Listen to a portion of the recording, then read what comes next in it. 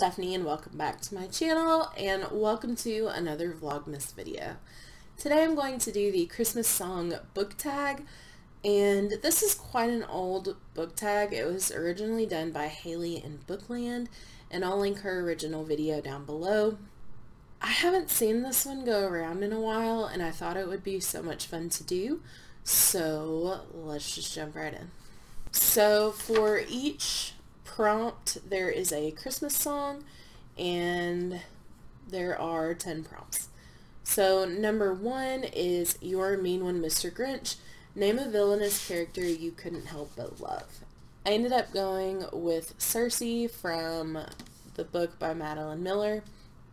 And I chose her because while she is the main protagonist and I can understand kind of why she did the things she did, she still did some horrible things to people, no matter how justified it was. But I still love Circe as a character, so that's why I chose this one. All I Want for Christmas is You. Name a book that you most hope to see under your Christmas tree, and for that I had to go with Harry Potter and the Goblet of Fire Illustrated Edition. I have the first three books and they're absolutely stunning, so I definitely want to add that one to my collection. Rudolph the Red-Nosed Reindeer, name a character that overcomes obstacles and learns to believe in themselves. And for that, I had to go with Starr Carter from The Hate U Give. She definitely learns that she has a voice in this book and that she can bring about change.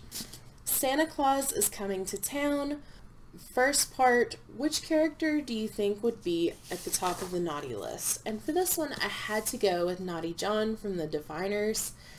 He is not a great character. He is pretty much the embodiment of evil, so he is the most logical choice. And on the flip side, which character do you think would be at the top of the nice list? And for that, I had to go with Lara Jean from To All the Boys I've Loved Before. She is the sweetest, most genuine, thoughtful character.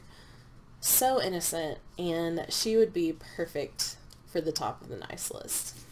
Frosty the Snowman, which book just melts your heart? And for that, I had to go with the children's book Escargot, which is about a French snail and I've read this book I don't know how many times. It's so stinking cute and it just makes me so happy every time I read it. Feliz Navidad. Choose a book that takes place in a country other than your own. For that I chose The Fountains of Silence by Ruta Sepetys. If you want to know more about this book, I do have a book review that I'll link, but this book takes place mainly in Spain in the days of General Francisco Franco. The most wonderful time of the year. Which holiday themed book do you use to spread the Christmas joy? And for that I chose The Polar Express by Chris Van Allsburg. This is a classic in my opinion and it's just so magical and heartwarming and wonderful and I think it really embodies what we want out of Christmas. And I love it. Absolutely love it. Next is Sleigh Ride. Which fictional character would you choose to spend the holidays with? And it does not have to be a love interest. It can just be a friend. And for that, I chose Alex Claremont Diaz from Red, White, and Royal Blue. I love his family. They are so sarcastic and so witty and I just think after reading about Turkeygate in this book that any holiday spent with them would be hilarious. So I had to go with this family. Baby, It's Cold Outside. Which book that you didn't like would you sacrifice to a fire to warm yourself up in the cold? Um, no shame, it'd be The Dark Between Stars. I absolutely hated that book. I think it's the worst book I read this year. I'm sorry if that's your favorite. I just did not like it at all. So. And finally, do you hear what I hear? Which book do you think everyone should read? And for that, I chose There's Something About Sweetie by Sandhya Menon. And I've read this book three times this year, and I do have a book review I'll link.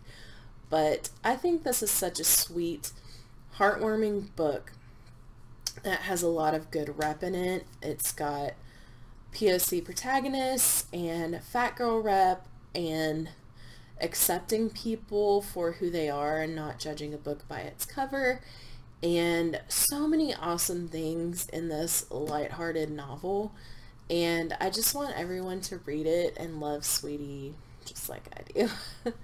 so that is the end of the prompts and I'm going to tag Shyanne from the Book Mermaid, Alli from Allie Gray's Story, Jurassic Reads, Kat from Rustic Pages, and Alyssa from Pages and Ink. And also if you're watching, consider yourself tagged. And if you end up doing this tag, please let me know, send me a link, comment down below. I would love to watch all your videos. As always, if you like this video, make sure to give it a thumbs up and click the subscribe button. Thank you so, so much for watching, and I will see you guys next time. Bye.